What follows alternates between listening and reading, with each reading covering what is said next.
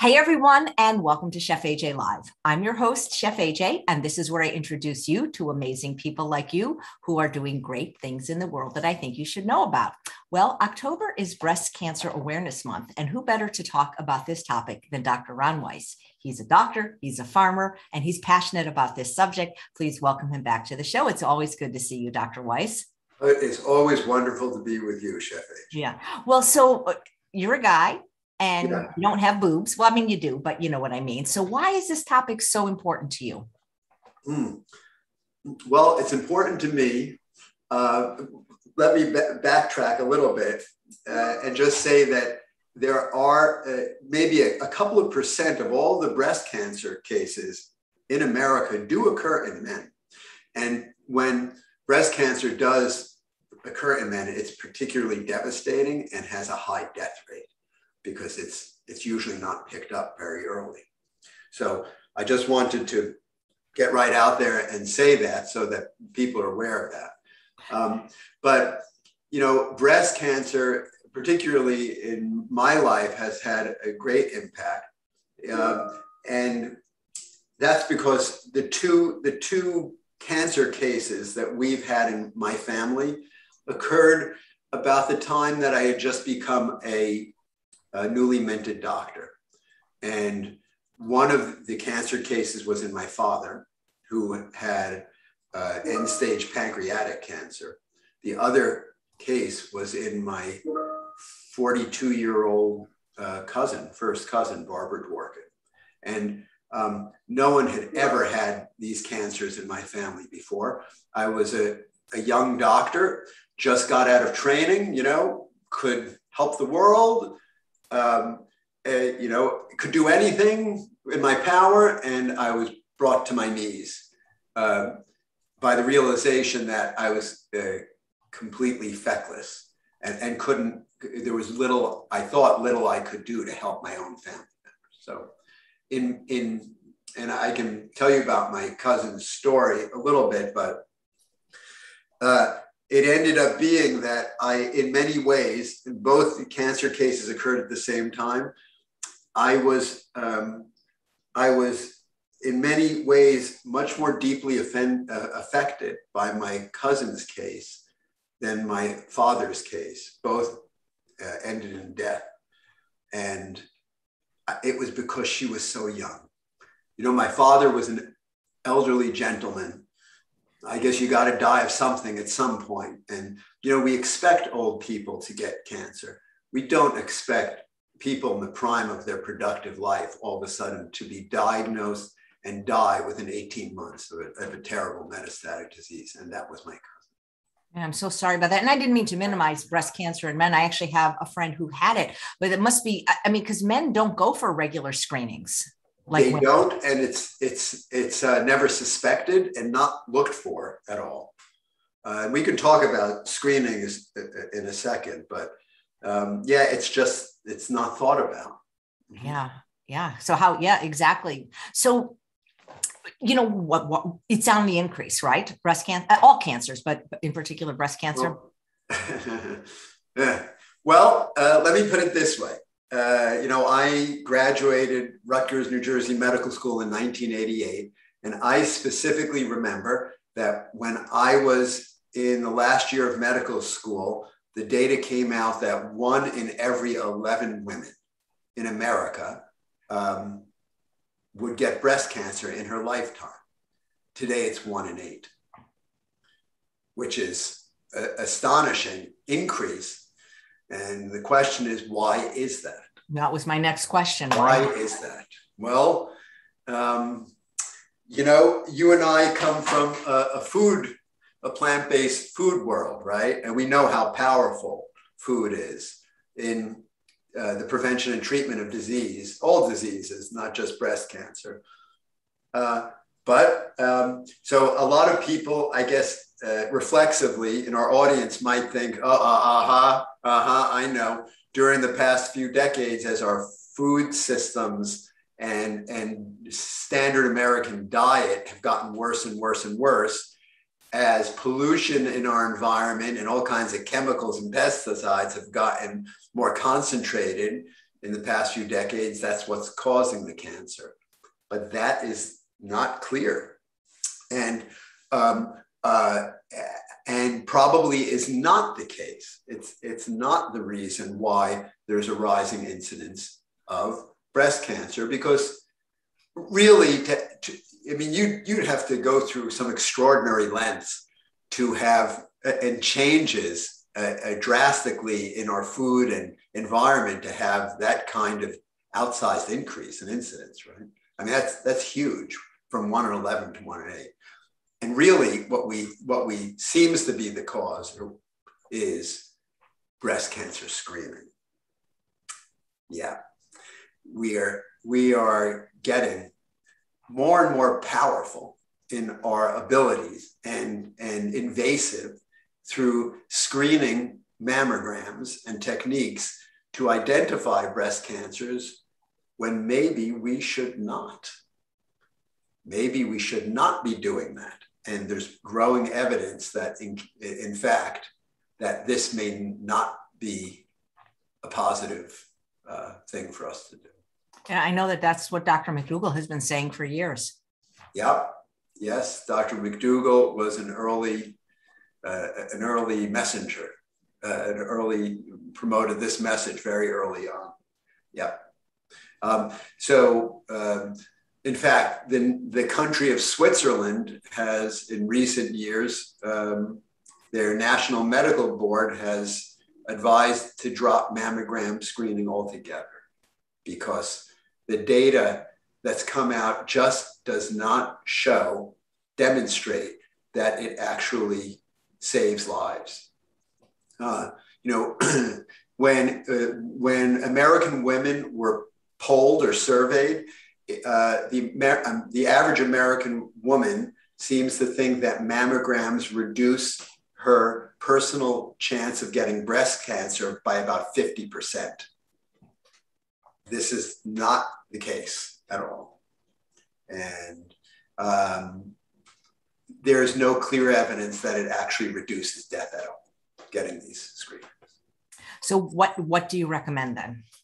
Well, I recommend you. I recommend people listen to your show and do what you're telling them to do because, uh, and, and I recommend that people come to our wonderful breast cancer uh, food webinar, which is on Thursday with Dr. Walter Willett, one of the leading um, public health officials in the world from Harvard Medical School, Harvard School of Public Health. And we'll be talking about the specifics and the details of how whole plant foods can really do a much better job, uh, not better, but a good job at preventing breast cancer and even treating it. Uh, and we're also going to be talking about how the things that are in our diet uh, are causative or, or, not causative, are there's certain aspects of the standard diet that are associated with uh, a higher risk. So if you take out the bad things and put in the good things, like you recommend, you end up in a good place in preventing and treating breast cancer. Right. So Amy, who's watching live, says, "So how how can cancer be detected if you don't get a mammogram?" Huh. Well, that's a very good question. Um, so um, let me let me back up a little bit um, and say that um, you know there there are three kinds of prevention and this is one of the first things you learn in medical school. There's primary prevention, secondary prevention, and tertiary pre- prevention, right? So, what Amy is asking is how can I secondarily prevent cancer? Secondary prevention is never as strong as primary prevention. Primary prevention means, hey, I don't have the disease of breast cancer and I don't want to get it, right? And that's why we eat whole plant foods and, and uh, adhere to healthy lifestyles because we don't want that breast cancer to be present ever. Mammograms are secondary prevention. Secondary prevention is not as powerful. And what that means is okay, I have the disease already. I just want to find it before it kills me, right? of course, nobody actually wants to find breast cancer. I, I, guess you want to find it before it kills you, but you hope when you go for a mammogram that it's negative, right? That you don't have a positive answer. So that's secondary prevention. And to further, you know, further my answer to Amy's question, um, the problem with mammograms is that when we're involved in secondary prevention, in other words, when there are breast cancers already there that, that we're trying to identify with this test, unfortunately, there's a whole bunch of women. Well, let me back up and, and uh, say that it's, it's not clear that the mammogram screening actually although it can identify the cancers, that it actually saved any women's lives at all. Uh, number two, um, in the group that it identifies the cancers in, a lot of these women would have been better off if they had never gone for the test or never had it identified in the first place, because we are now realizing that, you know, there are a lot of cancers in us and we don't know about them. Um, there, uh, and that just because we have cancer in us, it doesn't mean it's going to be harmful and kill us. For example, um, there was uh, years ago, there was a study where they took 40 year old women who had died, let's say in car accidents, they died from something else, and they autopsied them and they examined their breast and found that one third of these women had cancers in their breast which is a huge amount of women. You know, one third of women don't have breast cancer, come down with breast cancer in their life. It's a couple of percent in the United States, which goes to tell you that there are a lot more women than we think that have incipient breast cancer within them. You don't necessarily want to find it because then those patients, those women become breast cancer patients uh, a lot of them undergo surgeries and terrible chemotherapy and radiation, all kinds of things that can cause damage to you, heart failure, other cancers. So uh, that's my complicated answer to Amy's question that you, you don't necessarily want to find it. You know, yeah, there was um, in the 1990s, 80s, and 90s, there was a wonderful uh, professor at Harvard Medical School by the name of Judah Folkman, who came up with the idea that and promoted this theory, which is which has changed the way we think of how cancer develops. That um, as we grow older, probably past the age of 20, we have a lot of cancers in us, but they are, let's say, the size of the tip of this ballpoint pen, very tiny. And as we go through our lives and, and you know get more DNA damage from our environment and the oxidation and things we're doing, more and more of these tiny uh, little cancers arise in us, but they just remain tiny unless something sets them off. And our lifestyle has a lot to do, and our food with setting them off. So uh, we don't want necessarily want to find those cancers. We just want to eat good food and do other good things to prevent these cancers from uh, grabbing a blood supply, uh, which Dr. Folkman uh, theorized, which came true, and then uh, harnessing the blood supply so that the, these tiny little nests of cancers could grow into larger tumors and then metastasize. So, how much of cancer in general and breast cancer in particular is genetic? How much is caused by other reasons? And what are those other reasons, in your opinion? Well, you know, we think about perhaps five to 10% of breast cancers has a underlying genetic basis. So that means almost 90% of breast cancers are not. They are sporadic. And, and if you if you look at most women who are the vast majority of women this year who will be diagnosed with a breast cancer from their mammograms. Um, the vast majority don't have any relatives that have ever had breast cancer. And the same was true of Barbara, my cousin. No one in my family ever had breast cancer. Um, so, you know, um, you know, I am Jewish, of Eastern European Jewish extraction.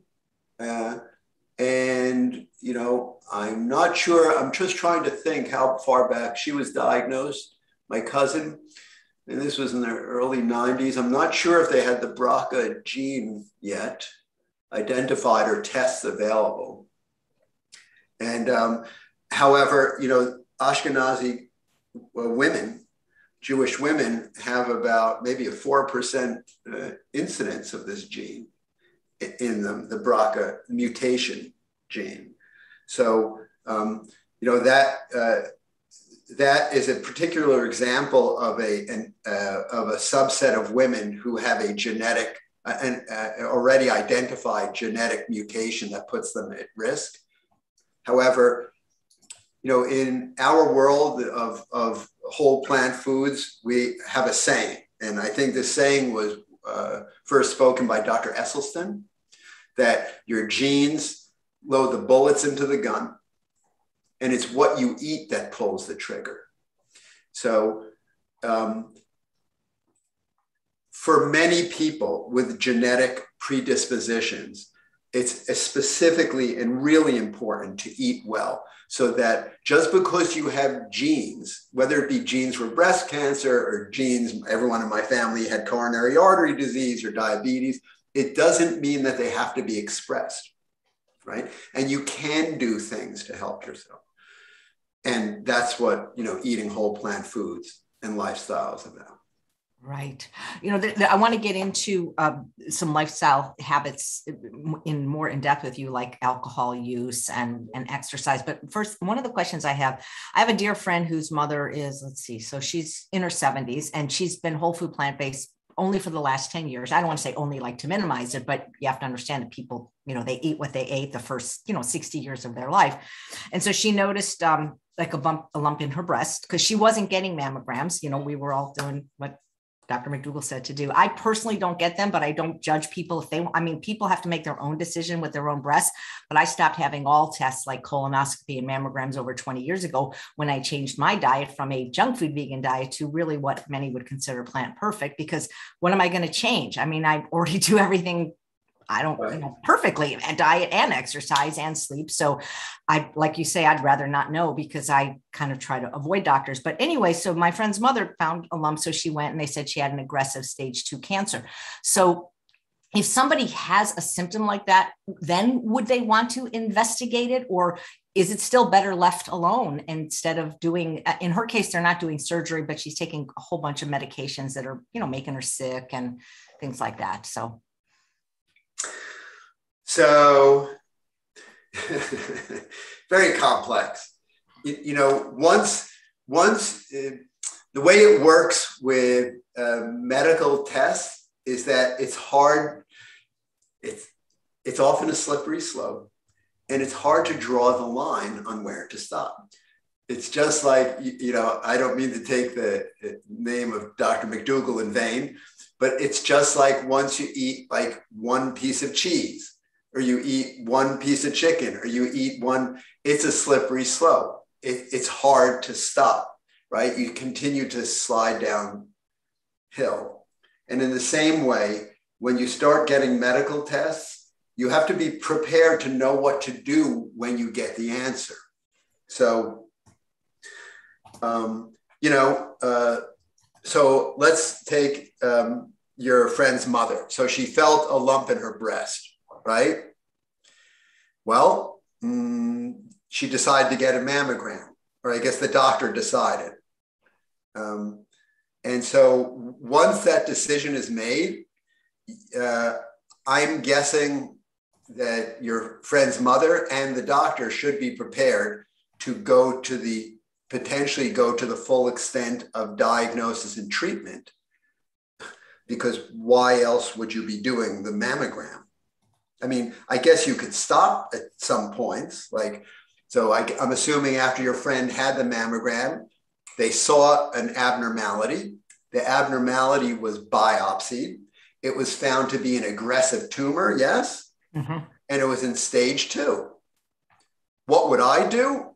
I'd keep going. because if it's an aggressive tumor and it's stage two, it means it's going to become stage three. It's going to metastasize, right? It'll go to the lymph nodes, then it'll become stage four. Then it's going to go to the bones and it's going to go to the liver.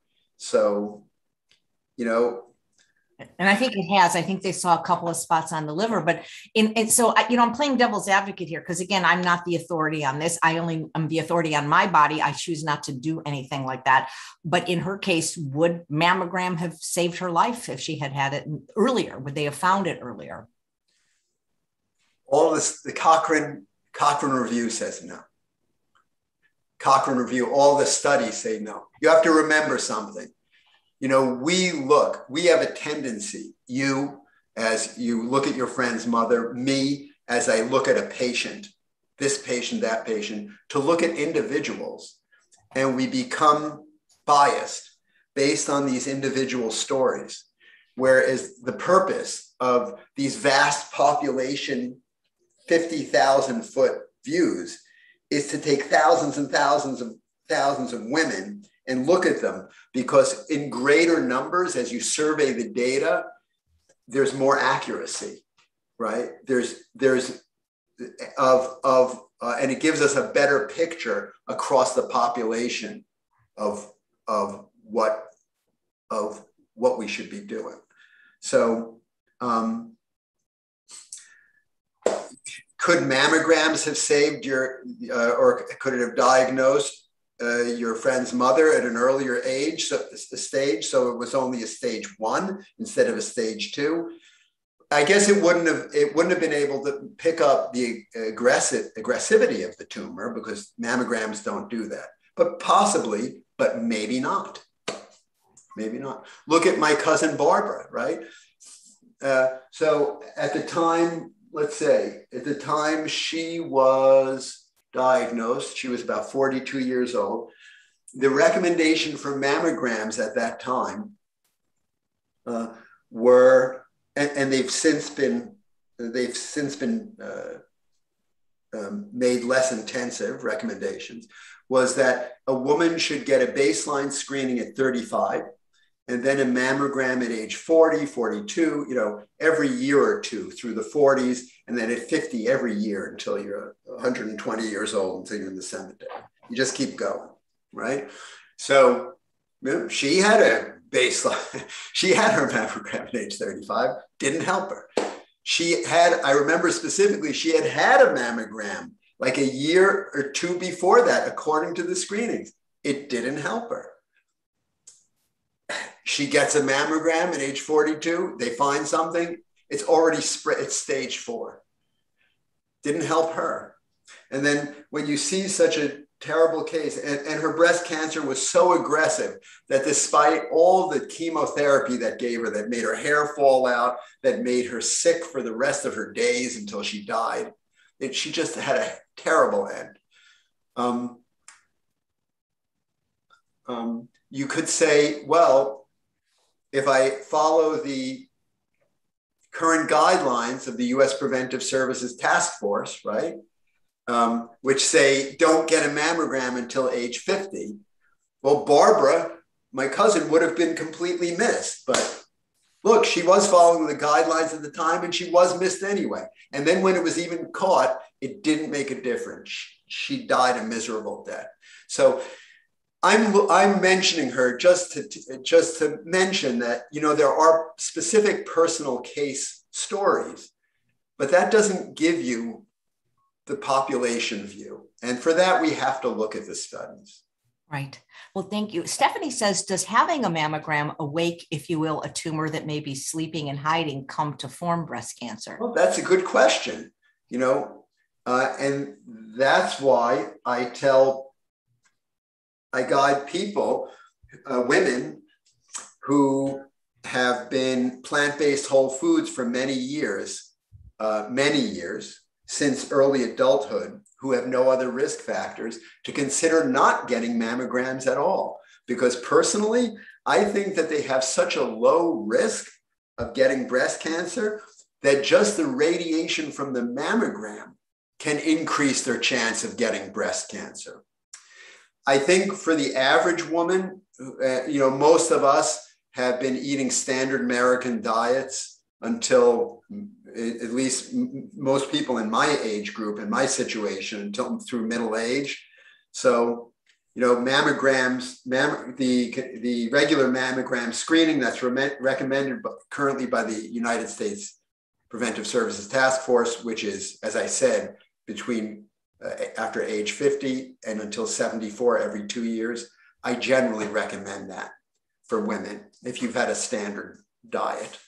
But I agree with, with the caller that if you've been doing it for a long time, I think just the radiation exposure alone could increase your risk. Wow, thank you. Well, Amy says, how else can cancer be detected then without a mammogram? And if you don't detect it at stage one, won't it just go into stage four? Well, we have no other, currently, we have no other ways to detect it other than mammograms. I mean, the, you know, doing self breast exams is not really recommended anymore by the United States uh, Preventive Services Task Force. And by the way, that's the large like authority, the federal committee that makes recommendations on uh, preventive techniques of what we should be doing for our health. And for that, for that matter, even doctors examining your breasts routinely as a regular part of the physical annual physical exam has been done away with too. So we don't have doctor or self exams anymore. The mammograms really is the only screening, secondary screening, right? Not primary. That's why we've got to attack the foods. We've got to go with the primary screening. Isn't there like, primary prevention? Can't they can't they check other ways? Some isn't there something called thermography? I think that some people get. Yeah, some people, yeah, do. That's sort of an alternative technique, but it's not been. Uh, it's surely not. There's not enough evidence to show that it's effective as a screening tool. Wow. Dina says, what about the compression that happens during mammograms? Can that cause breast trauma? I mean, I literally had one once and then I said, I'm not doing this again. But you know, not not everybody has the ability. There many of the people watching are female, they're very agreeable. And even if they don't want it, people have a hard time saying no to their doctors. Well, true. Uh, I think people, yeah, because uh, I think uh, there's a concept uh, that patients have that doctors are experts, and and they have an expert role in our lives, and that's true. Um, you know, they have access to data, and they they have been taught to to to survey the data, to analyze it, and then interpret it, and then deliver their recommendations to us based on that data. I mean, lay people really don't have those abilities, so there are local like personal connection to you know evidence-based medicine. So i understand that why they do that. But you know the other thing is that you know you have to remember there are you know there are there's now like a breast cancer industry that's popped up right where every highway you drive on for for breast you know in during october at least around here in New Jersey, you'll see giant billboards of all these breast centers, breast cancer centers from the local hospital, reminding everyone, oh, you have to keep getting your mammograms, you have to keep, you know, going for this. So, you know, and the hospitals have basically developed these centers as a money-making, uh, a profit center for the hospital to bring in patients. So, you know, there's the influence from that as well. The thing is is it's just they don't even i don't want to say they but except for people like you and the doctors that are plant-based it's one thing to, to want to do the test but they don't even mention prevention uh, you know the diet prevention that's know, what's that's so tough. that, that's the part that bothers me. that's what's so tough. The most powerful thing they don't mention and that's why it's so disturbing yeah that that part really does bother me you know walk for the cure run for the cure but nobody says eat for the cure no, and and and the frustrating thing is, when people participate in these walking for the cures and running for the cures, the money will most likely go through these organizations that fund fund uh, you know more chemo research, right?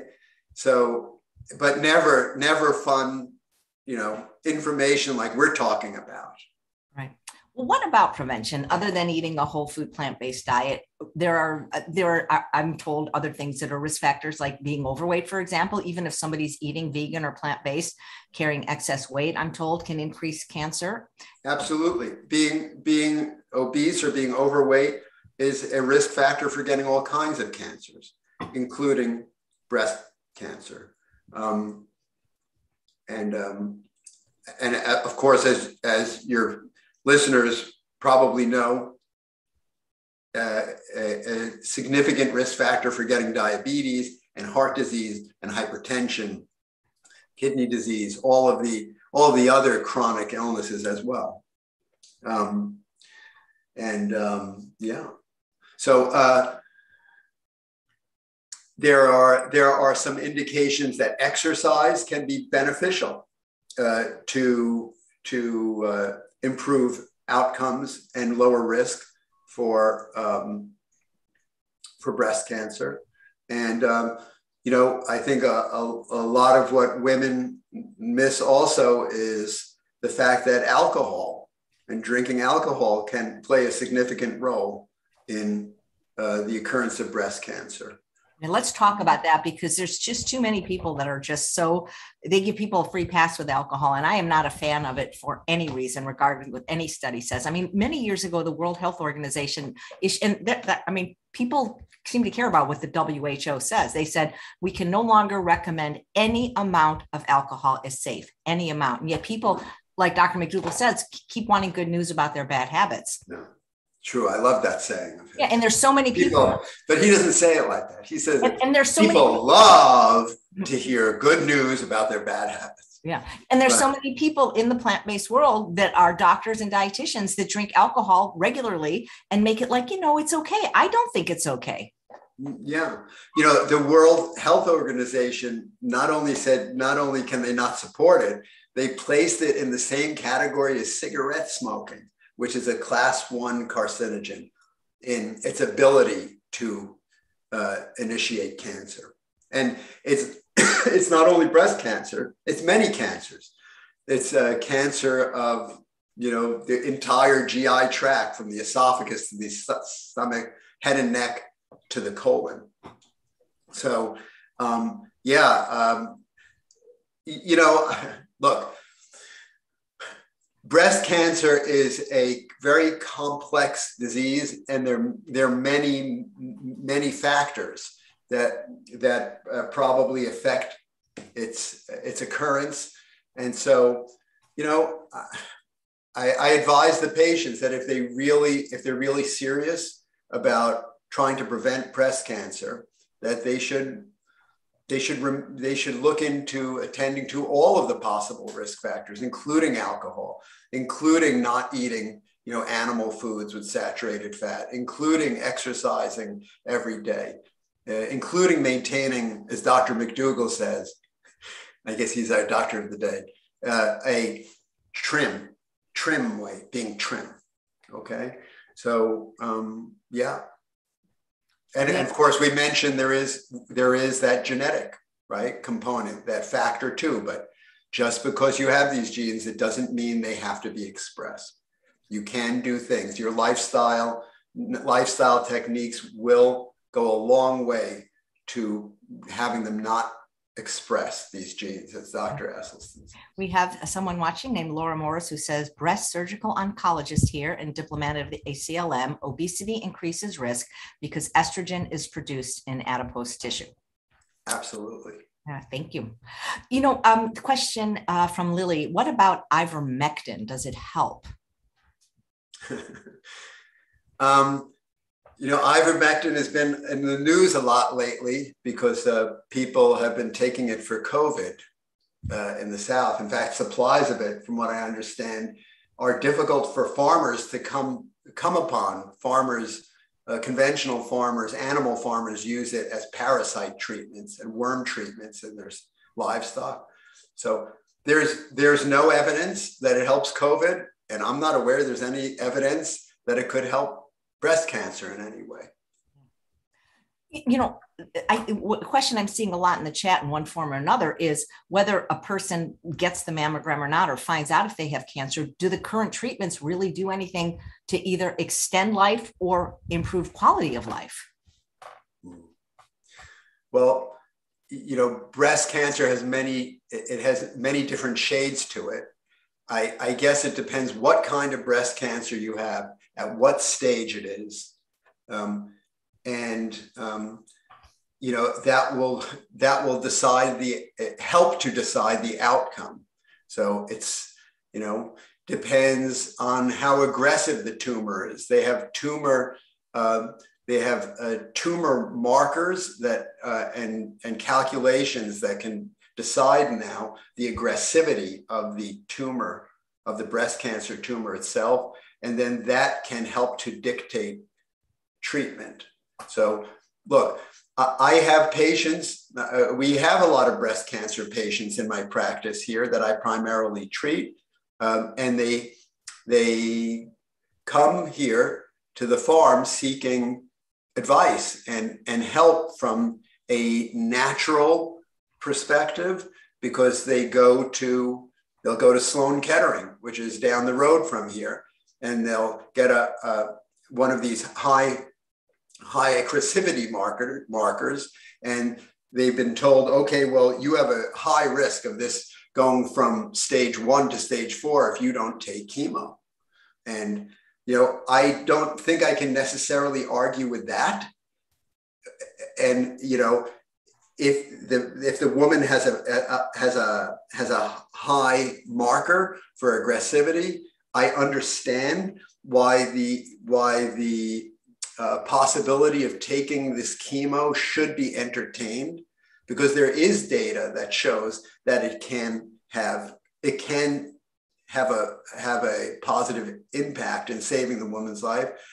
But definitely they should be doing the lifestyle uh, lifestyle practices first and absolutely the food. We have in every on almost every patient that i can ever remember who under who came here and was undergoing chemo when they adopted a diet of whole plant foods they tolerate their performance status which it means the way they um, survived through the cancer treatment was excellent. Um, they did not lose weight. Uh, they did not become fatigued. You know, they had minimal side effects um, like neuropathy and, and other kind, nausea and vomiting. And in general, they do very well. And I attribute that that that um, to the diet. Great, thank you. Uh, Richard asks Does excess estrogen fuel all cancers or just breast cancer? Hmm. Well, uh, we know specifically that uh, the, the, the, predominant kind of breast cancer that exists is fueled by estrogen. It has re- estrogen receptors on it. And that's why the main treatments around these breast cancers have been directed towards blocking the formation of estrogen uh, and blocking estrogen when it binds to the breast cancer cells to make them grow and metastasize. Um, uh, there, you know, common cancers, I'm not aware of any other that are estrogen driven. Uh, of course, in men, pros- prostate cancer is testosterone driven. That's the male hormone. But um, yeah, no other major cancers. Okay, great. I saw some. Uh, Faith says, can stress increase the risk of breast cancer or other cancers? Hmm. Well, uh, that's an excellent question. Uh, I'm not sure there is a lot of compelling data for that, but of course, um, you know, stress, we know it does, um, does have a negative effect on our immune system. It can make us relatively immune compromised. And if that happens, you know, that can reduce natural killer cells in our body. Natural killer cells are roving, um, like our roving uh, reconnaissance cells that look for developing cancer cells and try to kill them. So you want those to be at high levels. Uh, and when your immune system goes down, the natural killer cells are at lower levels. So, um, and for that reason, you know, you don't want to be stressed out. And of course, being stressed out uh, has a lot of other attachments to it.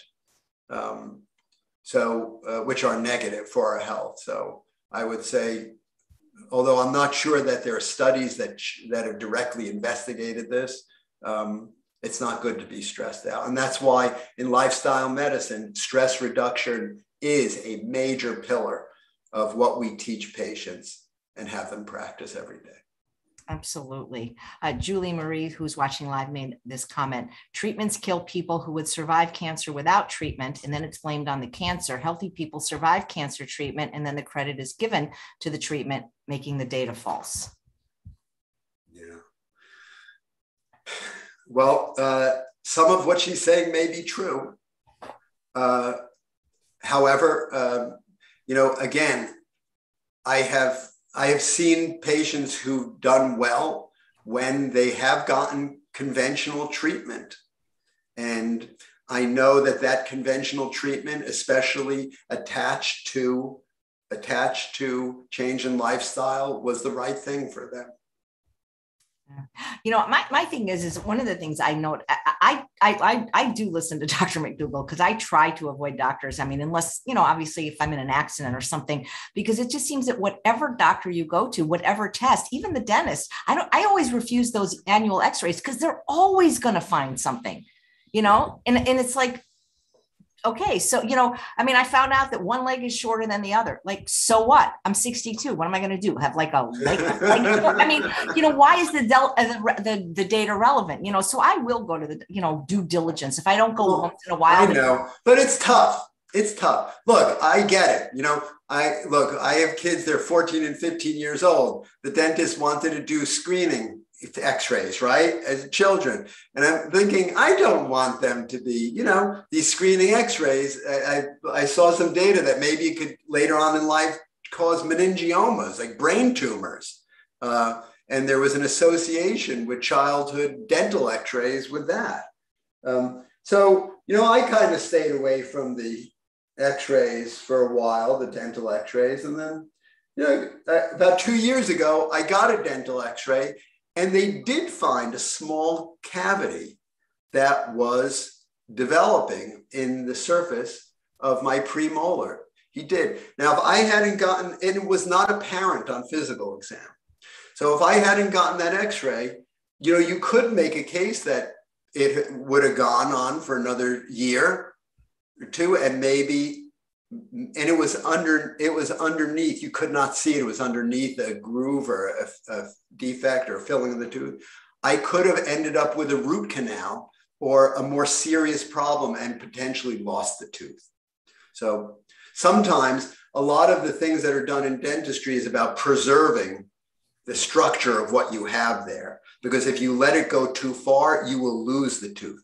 It's about tooth preservation right well, like Dr. Lisle, who comes on the show once a month, says everything is a cost benefit analysis and people have yeah. to run their own CB. For example, uh, Bond, who's a live viewer, says, I've been plant based for three years and got diagnosed this year. I'm assuming she means breast cancer, struggle with going on tamoxifen after breast conservation surgery and radiation started this past week. Am I wrong? I don't think anybody, we're not trying to make people feel bad if you get right conventional yeah. treatment. Your boobs, your choice but we want people that are maybe on the fence to know that there are other you know when i when patients come to me you know, most patients who come to me with breast cancer they've already been to sloan kettering or the major cancer center and they've already had the proposition of what to be done. You know they've already gotten the mammograms they've already gotten the biopsy they know what it is the workup's been done.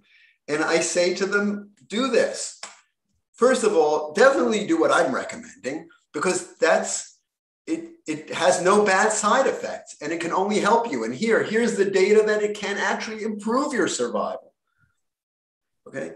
Number two, go back to the professor of oncology there and say, look, I want you to tell me what are my odds. Tell me, give me the data of what percent, if I don't do this, what are the percentages of, of uh, what are the outcomes? What are the percentage of my dying, of my not surviving? And if I do do it, how will my percentages improve? Give me the actual percentages and tell me where it comes from. And the doctor at least owes you this. If they're recommending the treatment, they should sit down in, in plain English and explain, like you're going to Vegas, right? What are my odds? Why am I doing this? Why am I making this gamble? Why am I making this bet? And if the odds sound good to you, then I would do it. If they don't, I wouldn't do it. Yeah, I'm just I'm I'm most doctors don't like me as their patient because I question everything. And I remember when I broke my I had a real bad accident in 2010 and I really had a bad break in my knee. It was a really bad one. I was in a wheelchair for like 4 months and of course the doctor recommended surgery. And I remember I said, "Well, I want to get a second opinion." So I've got a second surgical opinion. And I basically said, "So what are my chances of, you know, this getting better?" And this is literally what the doctor said. He goes, "Well, either you're going to get better, you're going to get worse or you're going to stay the same." Well, that's going to happen even if I don't have surgery. So, what is the benefit of surgery? So, I didn't do it. Yeah. I'm glad I did. Instead, I lost weight and, and, I'm doing fine. I mean, you know, I can't I can't run, but I didn't, didn't never ran anyway. So yeah. it's it's so interesting how that. But works. you know, that's your particular. I guess it was your particular injury. The way that happened, you could have someone who has a, an injury in a particular way that if they didn't get surgery, they would they would have a, a decidedly poor outcome. Right, but like, but the point of the question is, is ask. You know, don't just say, "Well, you no, ask and go through the says, numbers." Yeah, there are look. If if the doctor is recommending you get this chemo, there are numbers. There are tests. Sure, a lot of the tests have been have been paid for by the drug companies who made the, the chemo, but there there are there there are some studies that uh, that are the basis of his or her recommendation to you. So at least get that information. Right. Well, what I'm saying is, is not to have, not to not have surgery, but that when your doctor says you have to have surgery, you have to have a medication, question it. I believe in questioning yeah. everything and then making an we should. Decision. Yeah, absolutely. You know, going back to diet for a minute, it's one thing that they don't even uh, uh, promote a healthy diet for prevention or as part of treatment. But that you know i have so many people that say well their oncologist said oh well diet has nothing to do with it so eat whatever you want. And i remember up until i moved here from la three years ago i volunteered weekly at a cancer treatment center uh, doing pet therapy with my dog bailey. And we would be there for hours because the people getting infusions they were there all day. And at lunchtime they would come with a cart and i'm not kidding this is what they would give the patient patients. Now, they would have a choice. They could have either ham and cheese on white bread or turkey and cheese on white bread. So that was their sandwich choice. Their chip choice was, of course, you know, Fritos, barbecue potato, you know, and all the different chips. And then, of course, they could have their choice of, you know, uh, Coke or 7 Up. And this is what they fed them and because their doctor said diet makes no difference and some of them were back for their third and fourth time having cancer and that is just not right. No, it is not right, especially with the large amounts of data that are now present, which we will we will present to you guys in our webinar with Dr. Willett on Thursday. There is very compelling evidence that that is not right, and and that changing your food choices make an enormous amount of difference. Yeah, I've been posting that link in the chat, and it's also in the show notes if people want to sign up for the webinar. And Walt, Dr. Willett is fantastic. He's been on the show a couple of times. People are asking about intermittent fasting or water fasting once somebody has a breast cancer diagnosis. If it's helpful. Hmm. Well, I am not an expert on on fasting. Um, you know, I know that you know intermittent fasting is uh, can be effective for doing a number of things. Uh, primarily, you know, it gives your body a metabolic rest. So it can attend to other chores rather than constantly digesting food. Uh, uh, I'm not aware that it's that there are any major studies involving breast cancer. Probably uh, Dr. our friends, Dr. Goldhamer uh, and Dr. Lisle would probably be uh, maybe better better position to answer that question. Okay, great. Um, Martika is saying, but if somebody has a tumor, do you recommend cutting it out? Well, I again, these are these. Uh, I, I, once it is found, uh, yes, uh, if it is a stage one tumor.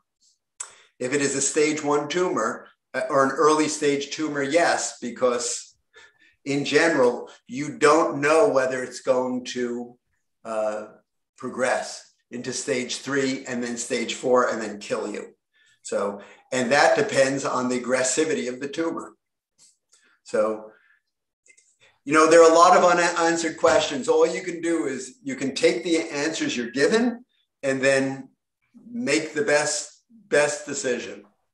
Right. Uh, Karen Buttrick says she misses the Ethos Farm days. So little oh, shout out. Thank you. We do, do too. Thank you. Yeah. You know, hopefully we'll be having them back in 2022. We'll try. Right.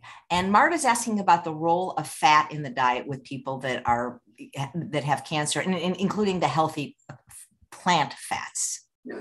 So uh, we spend a lot of time in in our webinar discussing the fat concept. The bottom line is that um, it's saturated fats that are really been shown to have a devastating impact on not only breast cancer, but a number of other cancers as well, a wide variety of cancers. And um, the um, they a lot of research has been done looking into total amount of fat uh, that women ingest regarding breast cancer and when it comes to total amount of fat uh, there is no clear evidence that that it impacts breast cancer in a negative way. But saturated fat, yes. Right. So why why would exercise make a difference to something like cancer? Mm. Well, um, you know, there are all kinds of, we're at the dawn of our understanding of how exercise affects many uh, different pathologies and chronic illness. But we do know that when people exercise, there are all kinds of myokines. There are there are molecules that we're still finding out about that are liberating liberated from the physical expenditure and the the uh, process of exercising that affect other parts of your body, uh, all the way from your brain to your heart, and um, you know we are still investigating this, but we know there are studies that are shown that just a simple thing like walking, just 30 minutes a day, uh, had a significant impact in women's survival who had breast cancer. Yeah. Great. You know, I'm, I'm wondering, going back to what we started with the men that have it, since they're not getting screenings, how are they even discovering that they have it? Is it usually because they feel a lump? because you know, unfortunately it's usually when it when it becomes so large that uh, it becomes noticeable to the man and then they go to the doctor uh, they will get uh, a, a, special kind of mammogram and then they will find it and then usually it's it's late stage yeah because how do they even i mean squeeze it in the machine? Uh, it's difficult. It's uh in the old days they used to do something called the xerogram. It's not it's a it's it's a difficult exam to do. Right. Thank you. Let's see. I think i just saw well uh, this is just a fun question that doesn't have necessarily anything to do with cancer other than maybe that you're preventing it but people love to know and stephanie's asking what does a typical day of eating look like for dr ron weiss you you, you, you live on a farm right so uh, i do uh, and i i don't I d- didn't really expect this information, but I do have props. So um, this is our uh, kale mix that we harvested two days ago. It has a variety of different kales in it and mustards. So uh, here you go. There are mustards. Uh, and we will find out, I have our the arugula that we harvested a couple of days ago. Uh, cruciferous uh, vegetables have some of the most powerful evidence to back up their efficacy in improving breast cancer survival and preventing breast cancer in women. And we'll be talking about that during our webinar. Um, so I'm eating that today. I always combine these greens with a cup of what I call flaxseed and spice tea. I don't know if you guys can see this, but uh, I have freshly ground turmeric root that we grew in our hot houses and I, some other spices. And then I uh, put two tablespoons of flaxseed in here. And it's uh, like water that's heated up to about 120 degrees. I mix it up. It's very warming and delicious, and all the spices and flaxseed um, combined together. And what that does is uh, when I eat the flaxseed with the greens, it helps to elevate the carotenoids to about double their concentration in the blood than if I just ate the greens alone. Now, is this a liquid or is it? I mean, these flax seeds are they ground? Because I, it's I mean, it's sort of like a gruel. It's like a it's like a thick liquid uh, that I can drink or eat with a spoon. And then uh, I don't know. I have a I, I like keeping them around because they're so beautiful. And I have um, so this delicata squash. I'll probably have that later. So we grew this in our field. This is my favorite winter squash because uh, you can just eat it just like this, and it's it's almost one of the only ones that you can eat the entire thing, including the skin, and it is delicious. I did not know you could eat it without cooking it. I did not know that. Oh no, no, no, not without cooking it. Oh, I see. You slice it and then then put it in the oven, but you can eat the skin. The skin is delicious. Oh yeah, absolutely. And I eat the skin on the kabocha as well. Yep. Actually, I eat the skin on the butternut. I, I think I really eat you eat the butternut. Skin? Yeah, I mean, why not? It's, yeah. I mean, I saw Dr. Not too tough for you. No, well, not when it's cooked. I saw Dr. Greger eat the skin of a kiwi and the stem of a strawberry, and I figured, you know, I eat the stem of the cauliflower. I mean, cooked. I wouldn't probably. Yeah, you know, all, all these things are are you can they're edible. The question is, are they palatable? Right. So they're they're good for you because it's just more plant fiber. I guess you have to decide whether they're whether it's um, palatable. Absolutely. Um, there's a question Do you grow with hydroponic or aquaponic in your greenhouse?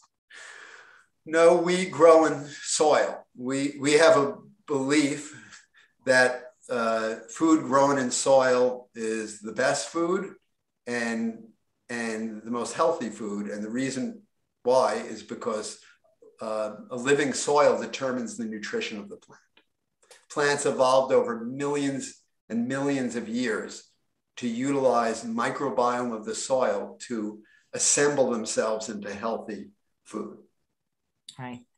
Uh, uh, people are asking about certain foods. Are they more protective against breast cancer? Like we were, I'm seeing soy in the chat because uh, a lot of people think that they should avoid soy. No, soy. Please come to our webinar. Soy have a where we'll present a, a lot of information to you about soy. Soy is really important in the prevention and treatment of breast cancer. Yeah, Dr. Barnard talks about that quite a bit. So, uh, you know, back to alcohol. So uh, there was a question about why why is it always promoted red wine as being healthy and the blue zones are being are always drinking alcohol uh, well uh, alcohol okay alcohol has a long history Yeah, because when you tell back and forth. You know what happened during prohibition? You see what happened when you tell addicts they can't have their drug. First of all, right? Yeah. You know, just always remember Dr. McDougall saying people love to hear good news about their bad habits. So anytime there's just this slight hope that something could be good, it's taken and run away with. Uh, just a split second, because I know we're running out of time. Uh, Dr. Benjamin Rush, who signed the Declaration of Independence, who was a who, who had a you know who had an interesting career. Uh, he was uh, Benjamin Franklin's physician, uh, and uh, one of the things he was noted for was he was the first advocate to to campaign against alcohol in the United States, saying that it was a dangerous substance and this was in the early 1800s. Uh, you know, uh, since then, um, you know, th- at certain times during the past couple of hundred years in America, there have been people recommending it uh, for health benefits. It's dangerous otherwise. You know, during the during the early part of the 20th century and even before that, a lot of doctors would prescribe alcohol in tonics because they thought it was beneficial. Uh, so um, yeah, we know that it's it's it's not good to drink alcohol. There's there's a lot of evidence that that that says that even drinking one glass of wine three times a week increases your chance of getting breast cancer. I so, love that. I love yeah. that. And and by the way, the reason the the reason why wine that message of red wine is good for you took off was is uh, traced back to Morley Safer from 60 Minutes.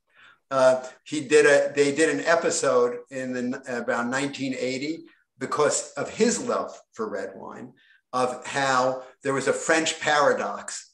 And he talked about how when you go to france uh, that french people drink a lot of red wine and that saves them from getting heart attacks and cardiac events and after that you see american sales of wine going taking off 40% in that one year and it never stopped. And then doctors started climbing on the bandwagon. You know there was messaging from oh red wine is heart healthy. It's not. All of that stuff was found to be false from that french french paradox. The study was was inadequate and actually a lot of the data from it was faulty so the, the foundation for that message doesn't exist yeah. I don't know. You know, are you familiar with is his name, Dr. John Ian? He's the guy at I want to say Stanford that does talks about how research is flawed. Uh, John Ioannidis, is that his name? Are you familiar with his work? Uh, I'm not familiar with him, but I mean, I know a study can say anything you want it to say, depending on your slant and, and, and your agenda. Yeah. So, uh, what about people are asking about caffeine? I had a friend had painful breast cysts, and the doctor told her no more chocolate, no more caffeine, and she got better. Yeah. So, uh, caffeine is known to increase uh, fibroadenomatous disease. You know, fibroadenomas, they're not breast cancers, but they're like enlarged glands in your breast. And, and so there's evidence that if you have, there's no direct evidence that I know of that, that caffeine causes breast cancer, but um, you know, women with with increased fibroadenomatous disease, they have an increased incidence of breast cancer. Yeah, great. Now we're here talking about breast cancer. There's a question on colon cancer screenings. Is do you want to take it or? Yeah, sure. Okay, I'm a primary doctor, and this is what I right. do all day. Well, well, speaking about you being a primary doctor, like people can have consults with you, right? I mean, even or do they have to live in New Jersey or New York? Um, uh, well, I'm licensed in New Jersey, New York. Uh, if you know, we try to help everyone. If people, we do take care of people in other states. Um, so sure, uh, you know, um, we make a we make a we make arrangements to do that, uh, where we bring in other colleagues to help with that because I'm not licensed in 48 of the 50 states, only New Jersey and New York. So right. we, we work with people to do that. Right. But um, as far as colon cancer screening, yeah, I do believe people should. I do believe people should be screened for colon cancer. Okay. Well, Richard's uh, saying that um, he has an inguinal hernia and he's hoping to avoid surgery. Doctor suggested he use Cologuard so not to aggravate the hernia. Do you typically suggest colonoscopies, or do you agree in certain circumstances Cologuard might be better? Uh, I, I do agree that Col- Cologuard can be an acceptable test, and uh, for people who are not who who do not want a colonoscopy um, or who who are not clear on what they want, I think Cologuard is perfectly acceptable. Great. Well, Dina just said she just purchased the event. So t- terrific. Guys, I've been posting Wonderful. a link. Just click on it. It's going to be amazing. It's very, very. Uh, it will be. Uh, I, I, don't think you guys realize that uh, Dr. Walt Willett's a, a real heavy hitter in the world. This will be an amazing event. Yeah, and actually, I just wanted to say the nice thing about this webinar is for the first time in the past couple of years, we finally have data, uh, studies that really show um, that that that that reveal uh, that the quality of whole plant-based diets is that it makes a difference in the prevention and increased survival of breast cancer. You know, a lot of the old studies, they would talk about, oh, they had a vegan diet or they had a vegetarian diet. But as you know, Chef AJ, you can't just say someone's a vegan or eating a plant-based diet. It can mean many things. So, uh, and a lot of these studies that he'll be talking about and the evidence were studies that were done by, by uh, Walter Willett himself. So we'll really get a bird's eye view of the importance of this data. Great. And uh, there's a question what time is the virtual event? Thursday. Uh, see, people asking me in their time zone in Central. I, I don't know. I only know what time it is in your time zone because that's how we listed it. Yeah, well, I guess Central is what uh, one hour behind us. mountain Rocky Mountain, they call it Mountain Time or Rocky Mountain, two hours, and and Pacific Time is three hours. So, so it's at it's at what time are you doing it Thursday where you live, which is Eastern? Oh, let me see. Uh, is it six? Boy, I should know this. Is it six thirty or seven? If they click on the click on the link, they'll find it. It's either six thirty or seven Eastern time. I'm going to click. You on click on the link, uh, you'll it'll bring you to the website, and all the information is there. Okay, I'm trying. Uh, here it is. It's 6:30 Eastern, which means it was yeah. it would probably be 5:30 Central Done. and 3:30 Pacific. And would it be recorded for somebody that maybe can't make it? Uh, you know, I am so I am uh, primitive in my technological skills, but I will I will talk to our tech team and ask if that's possible. Yeah, that that would be I guess important to know because for Pacific time, maybe some people might still be working yes, 3 30 p.m. And uh, that so that would be fantastic if it. And if you have questions like that, if you if you uh, if you contact our team, they can. If you have a request like that, I'm sure they'll be if it's possible to accommodate you they'll they'll find a way to do that. Great. And anything else you want to mention or talk about while we have you here, which is so nice? I think uh, I think it's time for me to start eating my kale. Yeah, great. Well, maybe you'll post a recipe for your morning. What you call it? Not slurry. You called it gruel. Yeah, my my flaxseed spice gruel. That's really really. Well, I'll give it to you right now. It's just two tablespoons of flaxseed, and then I, I just put in a, a, scoop of like a tablespoon or so of shredded, um, grated, fresh uh, turmeric root, maybe uh, a couple of teaspoons of fresh grated ginger root, and then uh, maybe a little cinnamon, dash of cinnamon in there. I throw a little dash of cardamom and uh, grind a black pepper. Terrific. Adina says, can she drive down from Canada to visit the farm? Is it open yet in terms of? Uh, well, we still, so we have a farm market. It's called the Doctor's Farm Market. It's open to the public. If you go to our website, ethosfarm.org, uh, you will find out about it. We have uh, our farm market is seasonal. Um, and uh, we're open probably the way the weather looks here for another couple of weeks. Um, if you're interested, we this Saturday we do have an exciting event on the farm, which involves includes um, um, activities in mindfulness, uh, fitness, nutrition, and also I'll be giving a little talk on the reasons to go plant based. And we have a wonderful farm to fork lunch that's included, and you can find that out on the website. Mm. Dina says, "What are your what are your go to kitchen gadgets? They don't want you to leave." You know, I'm I'm not a gadget. You know, I'm a primitive person. I eat with my hands, basically. Um, I'm, I'm not a chef. I don't uh, suppose to be. Um, if I can get a can opener to work, I'm ahead of the game. That's great. Well, thank you. I, will rely on you to make those recommendations. Instant pot. Yeah, Instant pot. That's as high tech as I get. Yeah, well, good. That's fine. Well, thank you so much, Dr. Weiss. It's always a pleasure reconnecting with you. Thank you, Chef. AJ. It's been a pleasure to talk.